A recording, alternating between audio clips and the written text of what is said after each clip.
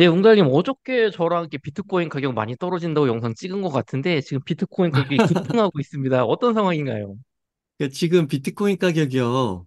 음, 어, 저희가 진짜 며칠 전에만 방송했던 게 9천 깨지고 8,500 깨지고 네, 8천도 깨졌다. 음, 맞아요. 그래서 한 7천 막 9천 7점 아7,900 7,800. 막 음, 그렇게도 음, 음. 갔었잖아요. 그래서 아 네, 많이 힘드시죠? 같이 힘내면서 비트코인 사 모아갑시다 이런 얘기 했었는데 이게 네, 달러로는 5만 6천까지 갔었거든요. 네. 근데 갑자기 비트코인이 6만 달러가 넘었어요. 야, 갑자기 지금 그래프로 급등하고 있네요. 그쵸. 그리고 개- 가격이 지금 계속 오르고 있는 것 같은데 음, 볼까요? 근데 저도 폰을 좀 켜봐야겠습니다. 와, 지금 6만 천이 넘었어요. 야, 이거, 이거, 웅달님이 얘기했던 그 급등인가요, 혹시? 그쵸, 그쵸. 맞죠? 음, 맞아요. 그, 래서 이거 마- 말씀 먼저 드려보면은 음, 이거 비트코인이 변동성이 엄청 크다. 그래서 네, 이게 타이밍 맞추기가 사실 되게 어렵고 그때 네, 우리가 얘기했던 게 뭐 매크로 이슈 뭐 금리가 어떻고 FOMC가 어떻고 뭐, 네, 뭐 비트코인 뭐 ETF 뭐 유출이 어떻고 막 여러 가지 이유들이 있잖아요. 하락할 때는. 근데 맞아요. 그거 나와도 그냥 어느 순간 갑자기 올라가 버린다. 음, 그래서 그거를 맞출 수가 없기 때문에 비트코인은 더 그렇다고 했잖아요. 변동성이 너무 크다고. 맞아요. 그러니까 꾸준히 정신 매수해라. 네, 일정량 매일 매수하면서 오히려 더 떨어졌을 때 며칠치를 더 사는 그런 전략이 좀 유효할 음, 수 있다. 그게 이제 제가 쓰는 방법이고 이런 걸 말씀드렸잖아요. 저 개수를 늘려야 된다. 맞아, 개수가 핵심이었죠. 음, 그 테슬라 우리가 이야기했었잖아요. 불과 며칠 맞아요. 전에 갑자기 네, 하루 만에 15% 급등해가지고 일론 음, 머스크의 자산이 하루 사이에 25조가 늘었다. 막 이런 얘기 했었단 음, 말이에요. 그래서 이 네, 그래프 보면서 과거 세 차례 반감기 이후에 음, 갑자기 한번 오르기 시작하면 이게 엄청나게 오른다. 음, 그래서 음, 타이밍 재지 말고 그죠? 꾸준히 사는 게 중요하다 이런 이야기를 했었잖아요. 음, 맞아요. 맞습니다. 먼저 제 계좌부터 한번 보여드릴게요. 이것보다 이제 지금 더 올랐겠죠. 지금 6만 천을 뚫었으니까. 네, 근데 제가 어제까지만 해도 요게 5월 3일입니다. 이거 저 고치질 못했는데 음, 9.12%에서 13.59%까지가 올랐어요. 음, 계좌가 한 700만 원이 올라버렸죠. 맞아요. 어저께 이거 저랑 찍으면서 이러다가 또 올라가면 또 뭐 몇백 천만 원 금방 오르죠. 뭐 이런 얘기 했던 게 기억납니다. 그러니까 하루 만에 700만 원 번 거예요. 그러니까요. 물론 수익 실현은 안 했고, 안 했지만, 이런 얘기 음, 했었잖아요. 그러니까 변동이 너무 크다 보니까, 진짜 음, 하루 만에 뭐 수백만 원, 그리고 막 음, 며칠 만에 막 수천만 원이 오갈 수도 있다고 했잖아요. 네, 그래서 이게 개수가 중요하다. 그러니까 제가 4월 8일부터 5월 2일까지 보면, 음, 개수가 한 0.44개가 벌써 늘었거든요. 그쵸. 그러니까 이게 42%까지 가면은, 이게 얼마가 될까요? 한 6, 7천 될 것 같은데요? 여기 25%가 수, 수량이 거의 늘었으니까. 음, 그죠? 4분의 1이 더 늘고 6천만 원 갈 것 같은데요, 평가손이? 저 4월 그니까, 8일 수익률 간다면? 그러니까 똑같은 수익률인데 이렇게 늘잖아요. 음, 순식간에. 음, 그쵸. 그러니까 꾸준히 매수하는 게 중요하다. 이게 요 음. 하루 이틀 사이의 교훈인 것 같아요. 근데 물론 또 여기서 폭락할 수 있겠죠. 어, 그죠. 이거 일시적 반등이었어. 맞아요. 그럴 수 있어요. 그래서 막 너무 또 막 이때 너무 막 기뻐가지고 음, 너무 몰빵하면 안 돼. 그죠. 지금 진짜 기다리던 왔다 하면서 뭐 갑자기 1억 타놓고 막 이러면 안 됩니다. 아, 이 그러면 안 돼. 그래서 저희가 항상 음, 디폴트 그쵸? 마음의 평정심 그죠? 스테이 음, 험블 그 마이클 세일러 항상 얘기하잖아요. stay humble stack 음, 사토시. 그러니까 음, 항상 겸손하게 평정심을 가지면서 매일매일 사토시 그 비트코인을 모으는 겁니다. 그래서 음, 저희가 다 이야기했던 대로 앞으로 또 이런 급락이 나올 수 있단 말이죠. 그래서 네, 저는 오늘 이 방송 가운데 이런 거 한번 생각해 보면 좋을 것 같아요. 저희가 그동안 막 올랐다가 떨어지기만 해가지고 기분이 많이 네, 상하고 멘탈이 흔들렸잖아요. 그래서 그쵸. 이걸 잘 기억해서 지금 막 또 다시 오른다고 흥분할 게 아니라 다시 음, 20% 30%는 언제든지 떨어질 수 있다는 거죠. 그러니까 네, 지금 시점에서 더 마음을 가다듬고 이 과거의 그런 투자에서 뭔가 실수를 범했거나 멘탈적으로 힘들었다면 그런 네, 거를 이제 앞으로는 다시 겪지 않겠다. 아니면은 그 고통을 최소화하겠다. 이런 거를 한번 생각해 음, 보시면 좋을 것 같아요. 네, 그리고 오늘 이렇게 급등이 나오고 또 급락이 언제든지 발생할 수 있는 거지만 이게 앞으로 대세 상승장이잖아요. 네, 신민철 작가님의 비트코인 슈퍼사이클에 보면은 음, 이게 내년 한 6월에서 한 3분기까지는 계속 상승장이거든요. 물론 네. 그게 또 바뀔 수도 있겠죠. 그러니까 아직 음, 한 1년 이상 상승장이 남았기 때문에 여기서 트레이딩 하면 안 된다, 또. 음, 그래서 저는, 저 개인적으로는 그냥 네. 계속 모아가기만 할 거다. 그 부분을 음, 이야기 드리고 싶습니다. 음, 맞아요. 저도 되게 인상 깊었던 게 지금 조금 전에 그 이미지에 나왔던 어, 비트코인 폭발적 상승에 올라타라. 우리 음, 강한국 작가님의 교보문고 베스트셀러에도 맞아요. 어, 120일 이동평균선을 굉장히 중요한 지점으로 보면서 이게 어, 하락장인지 조정장인지를 판단을 하셨는데 네. 원화 기준으로는 120일 이동평균선이 깨졌었는데 달러 어, 기준으로는 안 깨졌거든요. 야, 그쵸.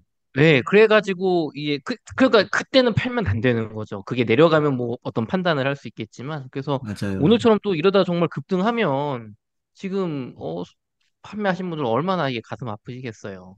진짜 기가 막히게 그 달러로, 그러니까 비트코인은 국제적 자산이기 때문에 달러로 음, 가야 된단 말이죠. 기가 맞아요. 막히게 그 121선 위에서 올라가잖아요. 맞아요. 그러니까 이제 그런 공부, 그러니까 강한국 작가님의 또 비트코인 폭발적 상승에 올라타란가요? 음, 맞습니다. 어, 네. 그런 책들도 참고해야 된다라는 것이죠. 음, 맞습니다. 그 오늘 이렇게 가격이 오르고 있는데요. 오늘 재밌는 뉴스가 음, 나왔어요. 무슨 뉴스 나왔나요? JP모건이 이런 얘기를 했어요. 가상자산 시장 단기적으로 투자자 주의 필요하다. 그러니까 음, 어, 이거, 더 하락할 수 있다는 거예요. 그 JP 모건은 항상 저렇게 뭐 금, 은 조심하라고 자기들이 사 모으던데. 블랙록은 비트코인 27만 개 갖고 있는데 전일 대비해서 637개 줄었다. 음, 그러니까 지금까지 늘기만 했으니까 줄었다. 이게 변화량을 되게 중요하다 보니까 뭔가 되게 악재로 다가오잖아요. 그쵸. 사도, 사기만 하던 애들이 팔았어. 어, 근데 오늘 뉴스 보세요. 아, 오늘 그 주가 비트코인 가격 보세요. 오르잖아요. 음, 그러니까 이런 악재 뉴스가 나와서 아, 오늘 팔아야겠다. 이게 판단하는 게 되게 위험하다는 거예요.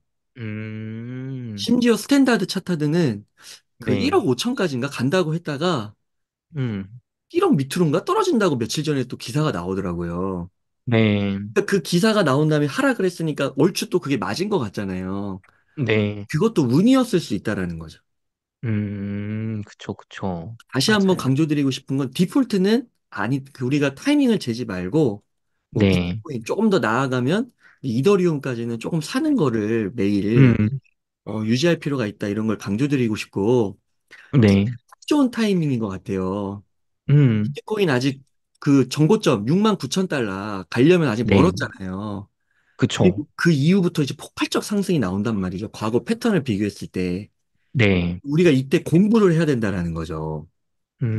그래서 저희 음, 고래동 공부에서 백훈종 이사님, 요즘 이분 나오시면은 유튜브 뜨거, 쓰- 굉장히 뜨겁잖아요. 그쵸? 어, 조회수, 이 조, 좋고, 그, 새로운 시각이 정말 신선하다고. 기승전 어, 상승 아니다. 예. 이분이 음, 엄청 엘리트세요. 중학교, 고등학교 때는 중학교 국제학교 나오시고, 그 중국에서 국제학교 나오셔서 중국어도 잘하시고요. 요, 그래서 뭐 홍콩 ETF 이런 이야기 하시잖아요. 어, 얼마 전에도 홍콩 뭐또 가셨다고 하도 자주 가신대요, 어, 홍콩. 자주 가세요. 홍콩하고 싱가포르 자주 가셔가지고, 거기에서 음, 또 이제 많은 자산운용사들, 스타트업들 음, 만나가지고, 그 생생한 정보들을 우리한테 전달해 주시잖아요.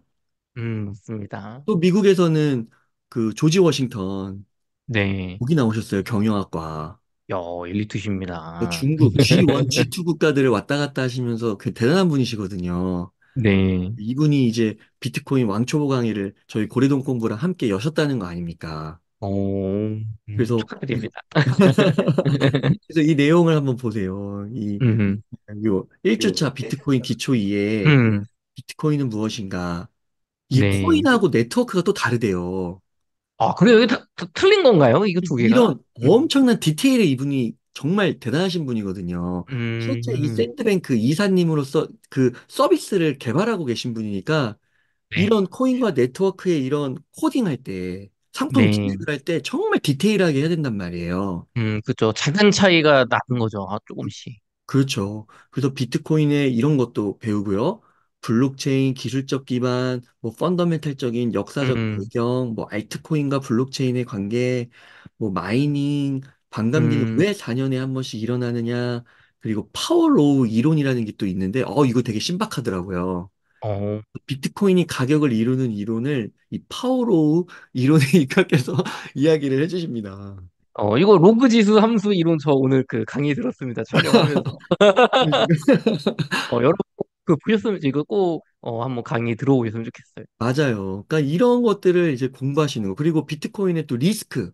막 사토시 음, 나카모토가 막 갑자기 나타나가지고 100만 개 음, 보유 비트코인을 막 팔 수도 있잖아요.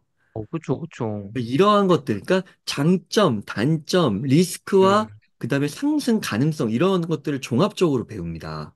음, 3주에 걸쳐서 배우는데 2주 차에는 되게 또 실천적이에요. 실용적이에요. 음, 음. 비트코인을 구매하는 것도 알려주세요. 어, 이거 댓글에 되게 많아요. 도대체 뭐 나도 알겠는데 어떻게 해야 되는 거냐, 어디 가입해야 되냐 모르겠다 이런 분들 진짜 네. 많아요, 댓글에. 맞, 맞아요. 그래서 거래소를 또 선택하는 거, 뭐 외국 음, 바이낸스를 선택할 것이냐, 뭐 비트맥스, 그쵸? 그다음에 그쵸, 우리나라의 뭐 업비트, 코인은 그쵸. 다양하잖아요. 또 맞아요. 한국과 미국 거래소, 또 다른 해외 거래소와의 차이는 무엇인지. 음, 음. 그래서 실제 구매 절차, 또 비트코인을 월렛에 보관하는 법도 알려주세요.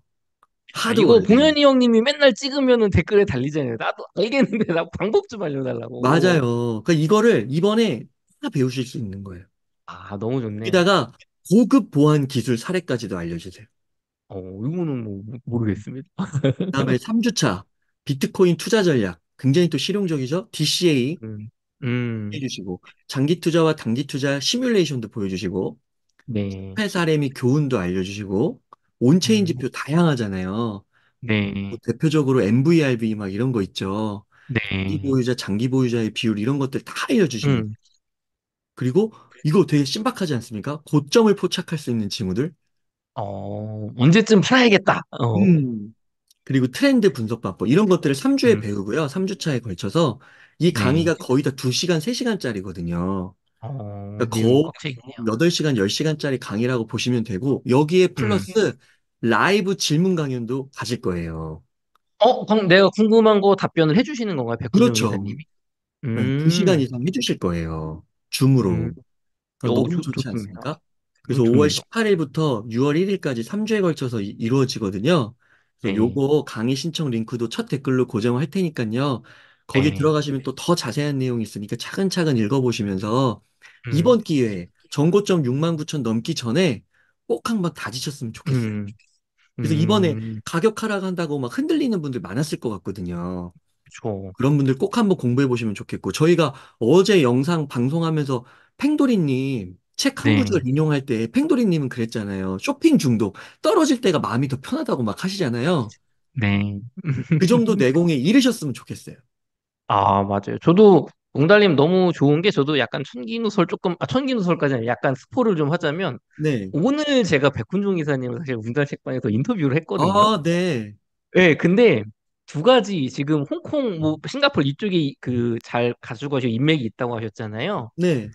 백훈종 이사님이 어디서도 들을 수 없는 정보, 중국의 이제 부유한 부자들의 돈, 우리 막 그런 얘기 했잖아요. 중국 ETF 통과되면 홍콩에 이제 막 중국인 부자들 돈이 쏟아진다. 네. 그거는 그냥 일반적인 얘기잖아요. 백훈종 음. 이사님은 얼마 전에 홍콩 가셔서 물어봤대요. 그 부자들의 돈을 관리하는 personal 자산 관리사들. 어, 오. 중국 부자들 요즘 어, 비트코인 ETF, 홍콩 ETF에 관심 있니? 했더니 우리 예상과 달리 그냥 뭐 중립. 어, 아주 관심 있지도 않고 관심 없지도 않아. 그래서 음. 지금은 자산 관리사들이 비트코인을 이제 공부하는 단계라고 합니다. 오. 어, 하지만 이사님이 보실 때는 앞으로 6개월, 어, 9개월 지나면 이제 중국 자산가들의 돈을 어, 이렇게 자산 관리들이 추천할 수 있을 것이다. 본인들이 먼저 검증하고 이런 음. 현지 정보도 들어 그 말씀해 주셨고요. 맞아요.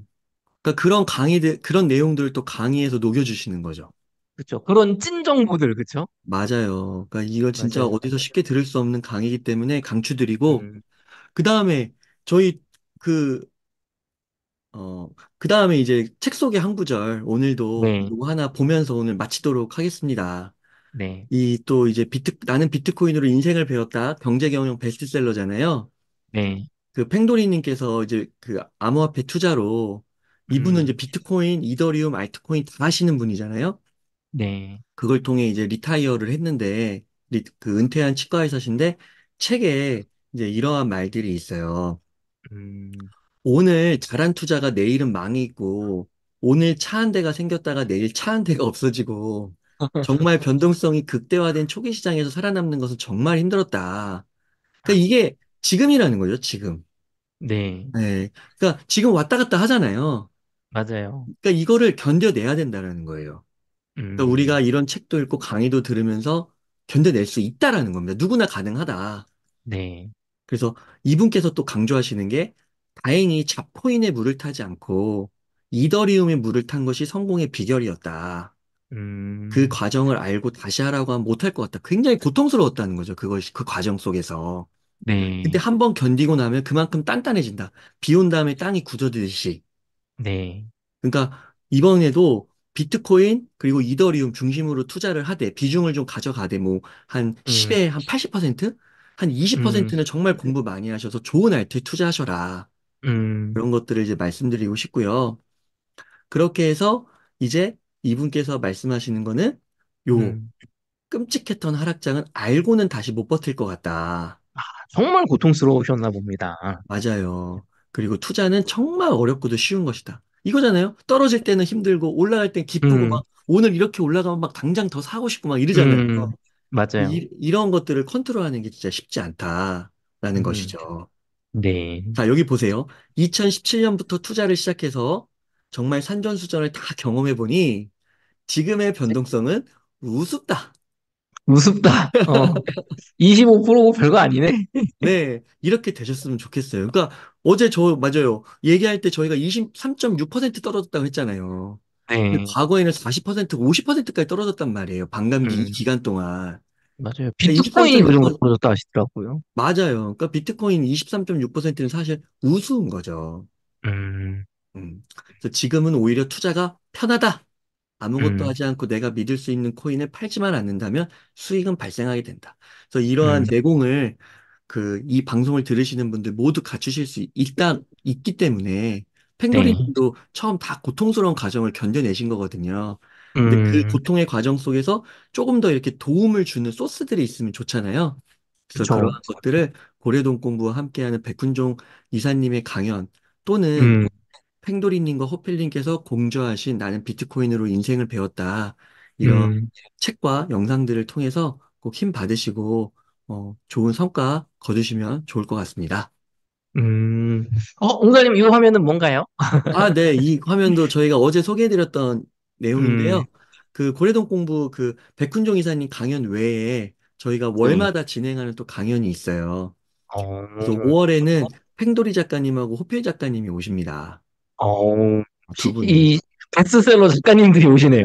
맞아요. 그래서 요것도 뭐 링크 붙이겠습니다. 그래서 음, 이게 다 다양하게 비교해 보시고 뭐 두 개 다 하셔도 되고 음, 하나만 하셔도 네. 되고 책을 선택하셔도 되고 아 음, 지금은 뭐 여유가 없어. 그러면은 또 뭐 영상을 통해서 접하셔도 되고 다양하게 준비해 놨으니까 그 중에서 한번 보시면서 선택하시면 좋을 것 같습니다. 음, 네. 좋습니다. 이렇게 해서 웅달님과의 어, 인터뷰를 마치도록 하겠습니다. 하나 아, 더 할까요? 대표님. 마무리 인사? 뭐? 네. 아닙니다. 그 다른 게 아니라 지금 음, 제가 가격을 또 봤더니 6만 음. 1,500까지 올라갔어요. 61,500? 아니, 네. 이거, 이거 마무리 인사하려다가 지금 큰일 났네, 이거. 이거 사야 돼, 그러니까요. 이거 빨리 끄고 사야 될 것 아니, 같은데. 안 돼, 안 돼, 안 돼, 안 돼.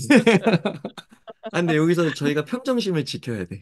맞아요. 저는 참고로 그 어제 7,800만 원 떨어질 때, 네. 어, 저는 비트코인과 이더리움을 조금 더 샀습니다, 그때. 아, 너무 잘하셨네요.